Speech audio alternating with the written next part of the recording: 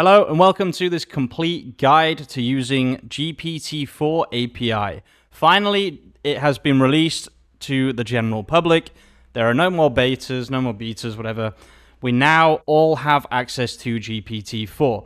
So in this video, what I thought I would do is give you all an updated method on how to produce or how to use the OpenAI Playground to its full potential. This is the playground, but first of all, we have to talk about a few things. First of all, what is the difference between ChatGPT and using the ChatGPT 4 API inside the playground? Why I personally think it's better, etc., etc. So the playground is a way to play with the API and see what it can do. So th this is actually not supposed to be for creating content, etc. It's just supposed to be a tester for you to then put your own API into a Python script or to calls to the API in your own Python script or whatever it might be.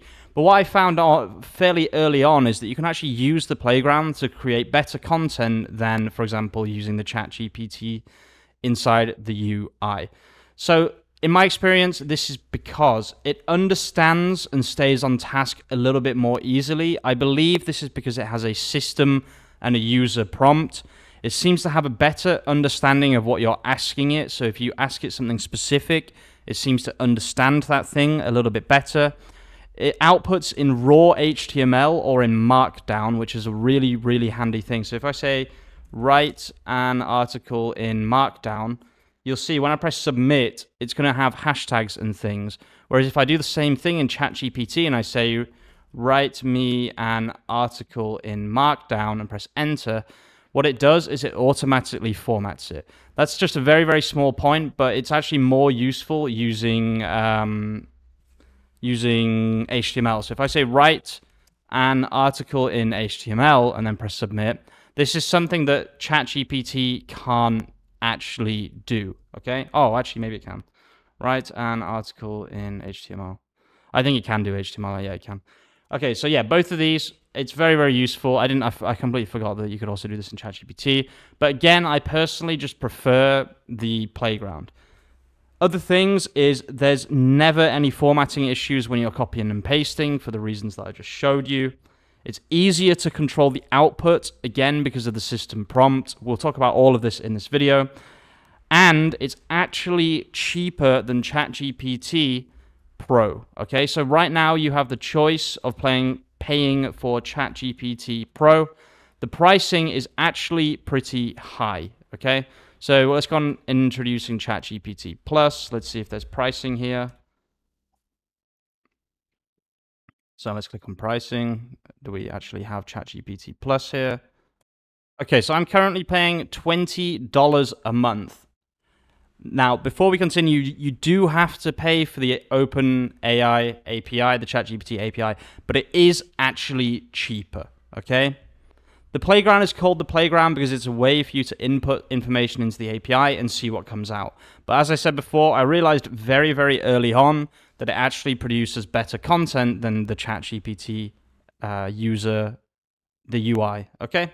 So let's talk about the important things to know about the playground. First of all, it's on platform.openai.com slash playground.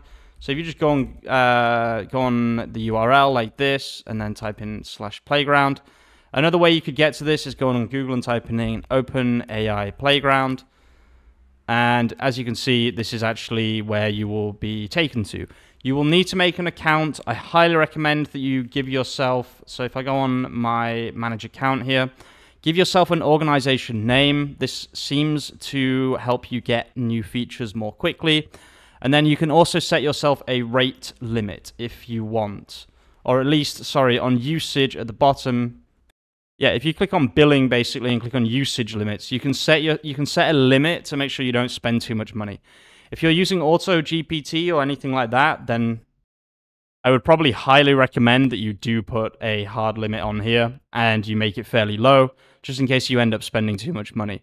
But if you set yourself a soft limit, that means when you hit that point, it will actually email you and say that you've hit that limit, okay? This is a really, really good way to not spend too much money. Just be careful because you can spend a lot of money, but if you only write two to three articles a day, you should spend less than the ChatGPT Plus subscription. These are the most important things. If you click on billing history, no, sorry, if you click on usage, this is how you can see how much you're spending every day.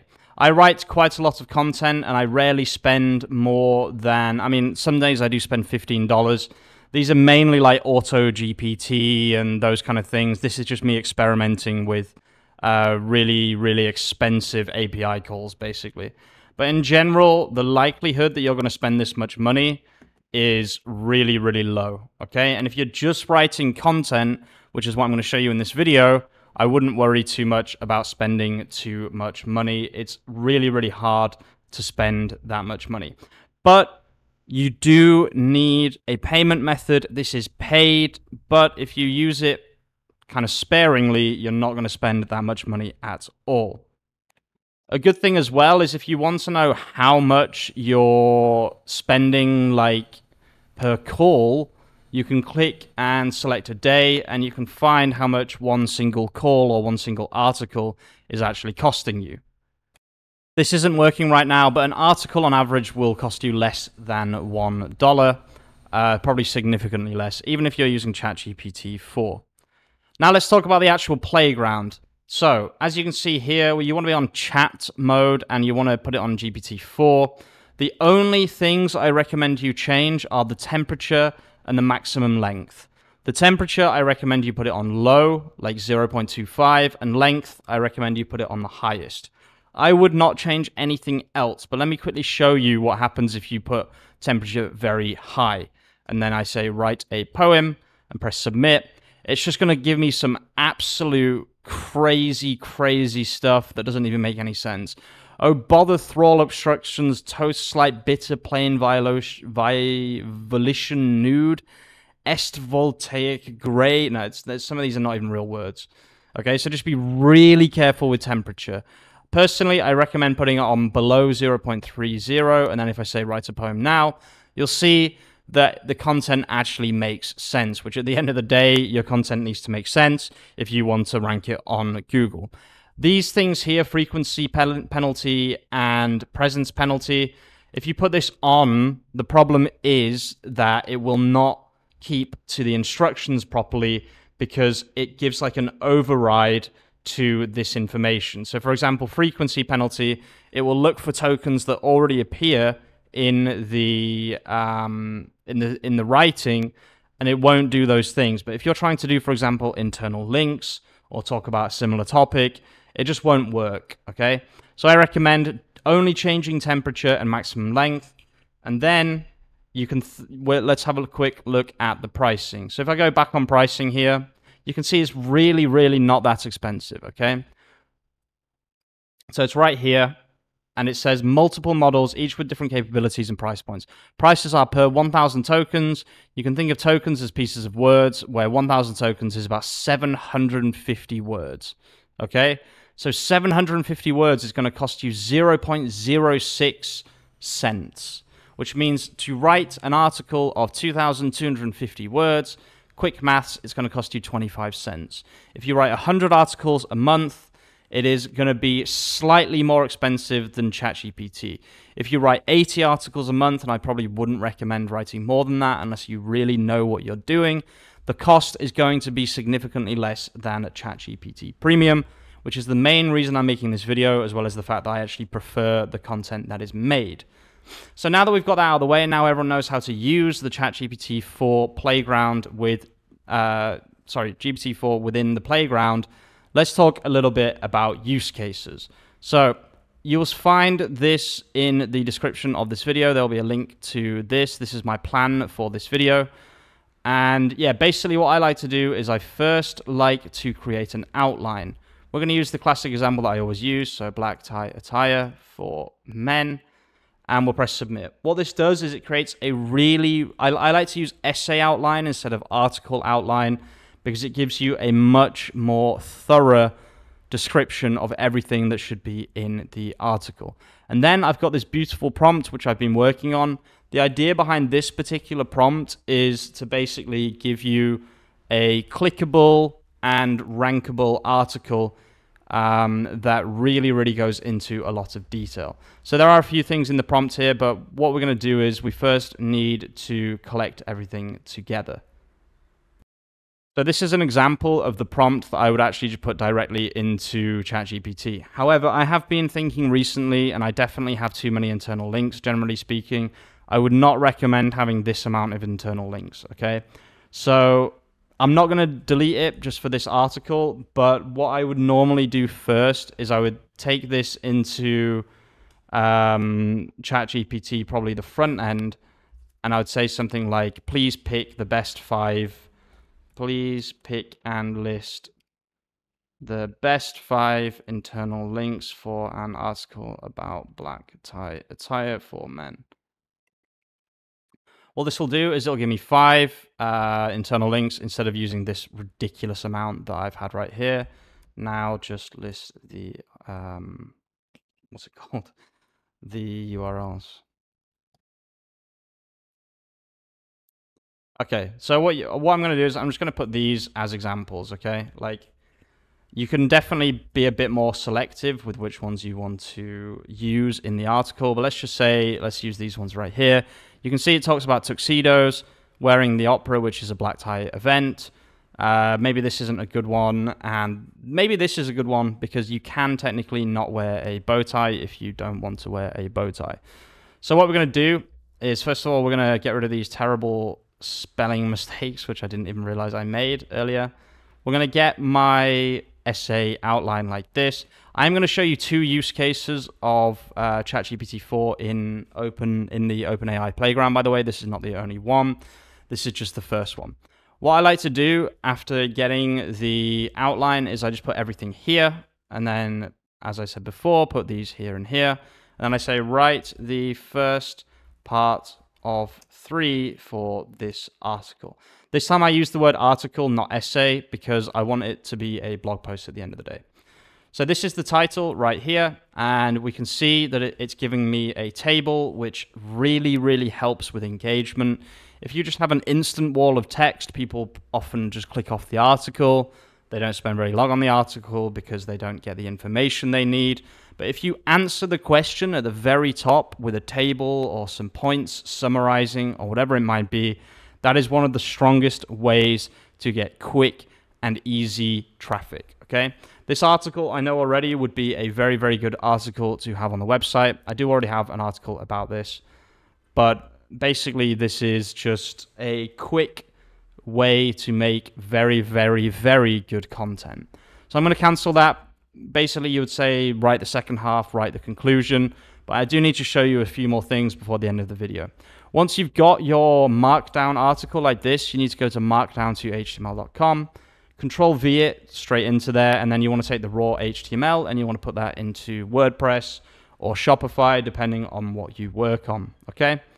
That is how I currently write content. This is the best way to write content, in my opinion. This is ranking me very, very well on Google. Um, I'm not going to show proof of that. You can go and watch my other videos or whatever if you want to see proof of that, or you can just believe me because I'm telling you the truth. The other thing I want to show you is how I actually made my Printify script the other day. Okay, and I really, really want to talk about this because I just think it's so damn important to understand how to do this. So, what I like to do and what I've been doing very, very recently to make to automate anything. Okay, if you want to do something automatically without, you know, yeah, basically doing everything manually, what you need to do is you need to find the documentation and this is currently not possible in the OpenAI playground, but I'm going to show you something which makes it possible in one second. The reason it's not possible is, of course, it's too long, and GPT-4 has a 8K token limit. So if I say, please um, write me a script, for example, it's going to say that it's too long. Just so you know, this will also happen while you're writing content. So if it says this, what you want to do, if you just want to write a conclusion or something, you can actually just put the maximum length down to like 400 and then say, please write me a conclusion, okay? The token limit is from the system plus the user plus anything else that has been generated in this session. So what we can do instead, okay, if you've got a short documentation, okay, then you're already done. All you need to do is, for example, let's just grab, um, let's just grab a little bit of information instead of all the information so I can show you what I mean. So let's just take uh, this, for example. Now, if I say, please write me a script and put the maximum length up a bit, what it's going to do is it's going to write me a basic Python script for making a GET request to retrieve a list of all available blueprints from an API. So, yeah, if the documentation for what you're trying to do is short, or if ChatGPT already knows the information, okay? So if you said, like, write me a script to crawl Google, it will already know how to do that. However, Printify actually released their API after 2021. So instead, what I did, and this is exactly how I made my script that I released in a video very, very recently, there's a website called nat.dev. It's a little bit kind of weird the way it works. I don't think it's dodgy, okay? I hope it's not dodgy. It's, it feels a little bit dodgy, but I'm, I'm pretty sure it's not dodgy. And basically, they have all of the um, open source LLMs like Alpaca, Llama, etc. But what they also have actually is GPT-4 32K. If you're wondering why they do this, they've obviously just got access to it and they want to be the, the, the big people who everyone comes to to do their stuff. So they've obviously they're losing a little bit of money on this probably, even if you have to pay five dollars to use it. They're probably still losing money, to be quite honest with you, because their API bill must be absolutely massive. But it can do all of this data, okay? Now it does work in a little bit way. It's in a weird way. It's not perfect, etc., etc. But if I say write me a script that automatically uploads to Printify and then press submit, it's just gonna it's gonna do it basically. Okay. Normally it would do it, but like I said, it is a little bit dodgy and maybe even this is too long. So you can delete some stuff at the bottom, like I don't really need webhooks and uh, orders and things like that. So let's press press submit again. Again, it probably might, yeah, it's probably not going to work. The reason for that is because their website is just not that well made right now. But it does work, and it did work yesterday for me, and that's how I do all of my programming. Anyway, I really wanted to make this video because ChatGPT 4 has been released to everyone. Everyone now has access to the API. So now there's no excuse not to watch my videos and get the full experience from them. Thank you for watching. I'll see you very, very soon with some more content, and peace out.